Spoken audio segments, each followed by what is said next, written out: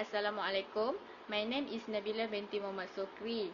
I study at Polytechnic Tuanku Syed Syirajuddin, Perlis and I am from programming student.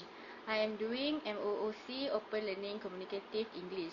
Okay, now I would like to give you comparison steam iron between dry iron. Okay, this is steam iron and this is dry iron. Dry iron. Dry iron. Dry iron are now the old-fashioned, classic type of iron. Its simplicity lies in only having to adjust the temperature of the iron depending upon the type of fabric. The benefit of the dry iron is that as long as it is never left attended and monitored carefully while in use, it, it will not likely ever cause harm to your garments. Nowadays, the dry iron can be harder to find and is sometimes more expensive. Okay, next, steam iron. Okay. Steam irons are today a standard iron. They are quicker, cheaper and easier to find.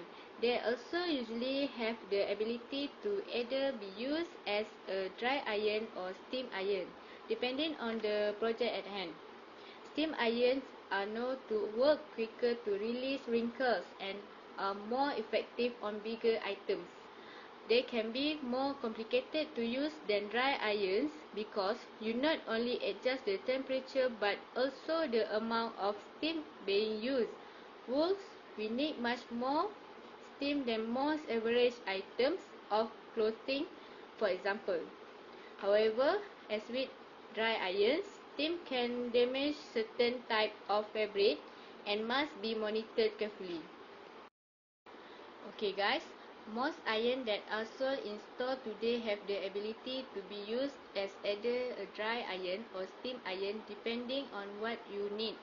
Be aware that when using a multifunctional iron as a dry iron, the hole the hole where the steam comes out and can cause mark on certain fabrics. Take the time to test your iron on different fabric and types clothing to determine which setting is best for each. Never use the steam iron on any fabric, especially silk, without checking the tag to see what can and cannot be used for each article of clothing. Thank you. Hai, Assalamualaikum. My name is Nabila binti Muhammad Sokri. I study at Polytechnic Tuanku Syed Syirajuddin, Perlis and I am from programming student. I am doing MOOC Open Learning